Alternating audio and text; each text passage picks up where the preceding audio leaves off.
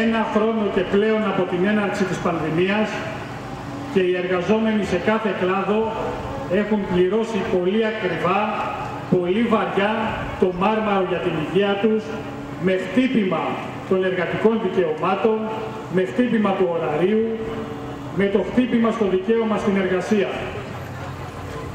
Οι εργαζόμενοι στο εμπόριο συνάδελφοι, στον κλάδο του εμπορίου τα αντιμετωπίζουν όλα.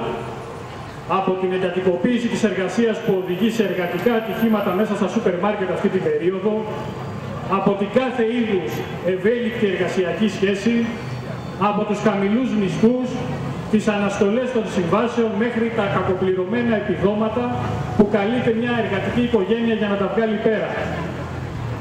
Όμως, συνάδελφοι, το πιο βαρύ που πληρώνουμε αυτή την περίοδο είναι οι νεκροί μέσα στους χώρους δουλειάς. Νεκροί μέσα σε μεγαλοκαταστήματα, συνάδελφοί μας, σε σούπερ μάρκετ.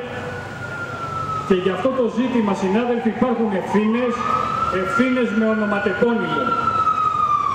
Πόσα και πόσα υπομνήματα έστειλαν τα σωματεία του εμπορίου στην Αττική και από όλη τη χώρα.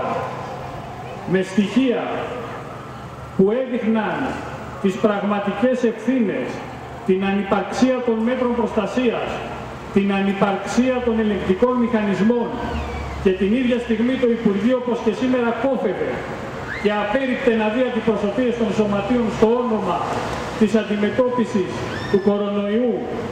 Μιλάμε για τους ίδιους που έχουν κάνει ήδη το εμβόλιο όταν οι εργαζόμενοι στο λιανεμπόριο ακόμα και σήμερα είναι εντελώς απροστάτευτοι και γυμνοί στα μέτρα προστασίας. Καταλαβαίνετε συνάδελφοι ότι εδώ υπάρχει και κρυφτό και υποκρισία και πρόκληση. Όταν είδαμε τις προχθεσινές εικόνες με τον Υπουργό σε αυτές τις συνθήκες να γιορτάζει και να περηφανεύεται για τις φωτογραφίες με τα γενέθλιά του. Σε αυτές λοιπόν τις συνθήκες συνάδελφοι η κυβέρνηση φέρνει νέο αντεργατικό νομοσχέδιο που θα επιφέρει νέα πλήγματα στη ζωή των εργαζομένων. Η αλήθεια είναι, συνάδελφοι, ότι η κυβέρνηση σε αυτές τις συνθήκες λέει και μία αλήθεια. Η διευθέτηση του χρόνου εργασίας είναι ένα όπλο στα χέρια των εργοδοτών που έχει την υπογραφή όλων των κυβερνήσεων. Το καινούριο βέβαια που το κάνει υπερόπλο είναι η ατομική διαπραγμάτευση. Έχουν γραφτεί πολλά, έχουν πει πολλά αυτές τις μέρες τα προστατευόμενα πάνελ. Εμείς συνάδελφοι επειδή υπόθηκαν και τις προηγούμενες τοποθετήσεις αρκετά, γύρω από την τετραήμερη εργασία που μας καλούν να δουλέψουμε, που αυτό σημαίνει να λιώσουμε για 50 ώρες την εβδομάδα, για 60 ώρες όσοι δουλεύουν εξαήμερο.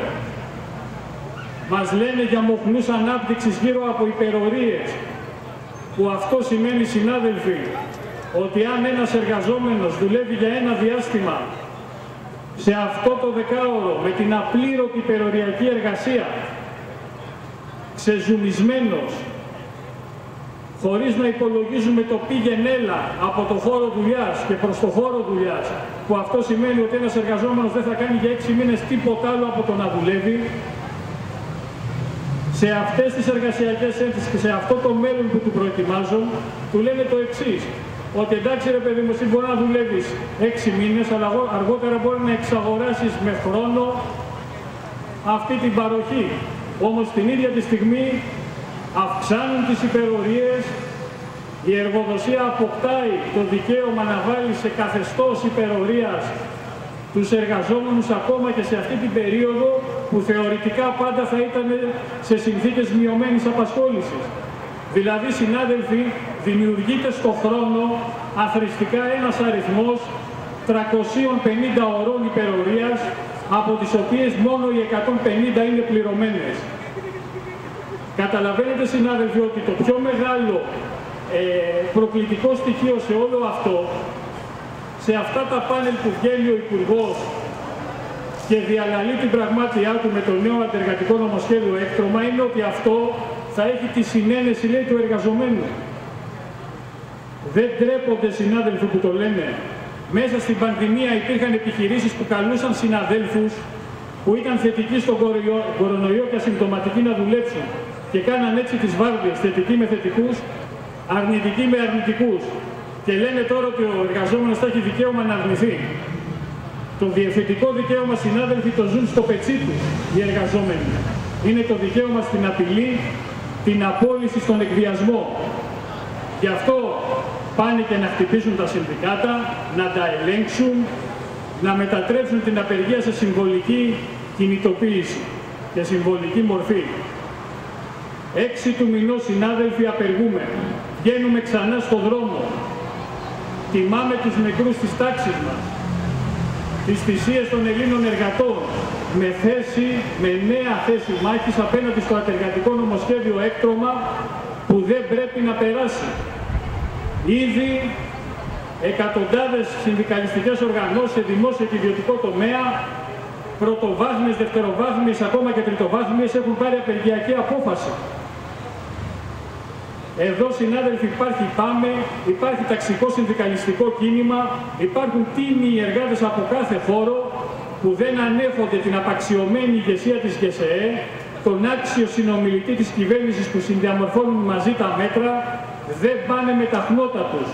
Τους αφήνουμε λοιπόν να γιορτάσουν από κοινού, αγκαζέ, την Πρωτομαγιά έτσι όπως θεωρούν αυτοί συμβολικά, γιορτάζοντας την κατάργηση του οχταώρου και ξεπληρώνοντας γραμμάτια ο ένας τον άλλον.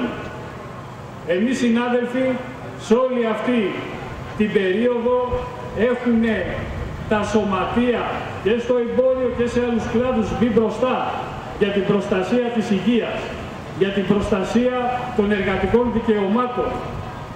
Καλούμε και από τη σημερινή αγωνιστική κινητοποίηση των σωματείων του εμπορίου, επιτροπών στις γειτονιές, συλλόγους γυναικών που συμβάλλουν στη σημερινή κινητοποίηση, να βγουν μπροστά, να σπάσουν το φόβο, να υπερασπιστούν τις εργατικές κατακτήσεις, αλλά κυρίως να περάσουν στην αντεπίθεση, στο διεκδικητικό αγώνα για τη δουλειά με δικαιώματα, για τη ζωή που μας αξίζει. Οι επόμενες μέρες, συνάδελφοι, θα κρίνουν στους χώρους δουλειάς και στους κλάδους τη δύναμη και την απάντησή μας, ώστε αυτό το αντεργατικό νομοσχέδιο έκτρωμα να μην περάσει. Όλοι μαζί συνεχίζουμε, δίνουμε ραντεβού στις 6 Μάη, στη μόνη απεργιακή πρωτομαγιάτικη συγκέντρωση που θα υπάρχει στην πόλη μας.